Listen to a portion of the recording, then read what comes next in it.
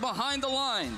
Three, two, one, go. All right, we are underway here. Match number 77. One each going in down low for the for each alliance. Both alliances aiming for that upper hub, knocking out each other's cargo. Lots of misses, high and low in this match. One finally going in up high by the Red Alliance. Neither alliance able to get a quintet, and it is a 10-10 tie at the start of Teleop here in match number 77. All of these robots playing their final match of this event, or final qualification match of this event, trying to showcase their skills for our Alliance captains in the top eight. 1572 making one, two shots from out range.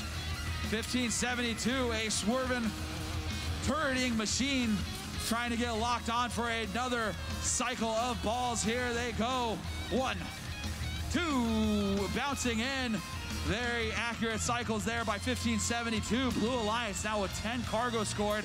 Red Alliance with five.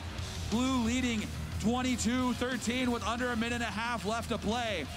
Iron Kodiak sitting idle here on the far side of the hub. Hammerheads hitting one and now two shots.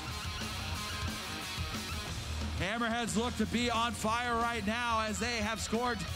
Their alliance has scored 12 cargo. They need seven more in order to hit that cargo bonus. Two going in down low, courtesy of the Crusaders. Red Alliance trying to play some catch up here, falling behind, but Blue Alliance continuing to rain down cargo on that upper hub. All three blue robots playing offense.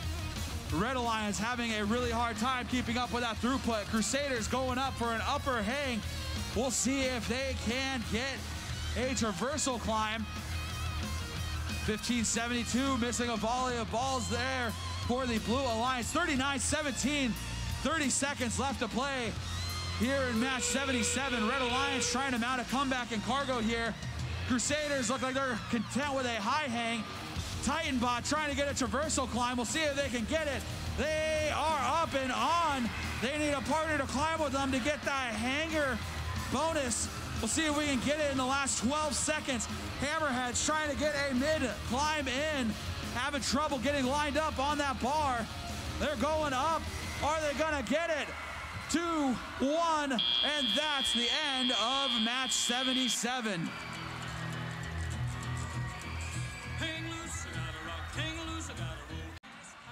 Final score 60 to 36. Blue Alliance getting two ranking points for winning the match and a third for achieving the hanger bonus.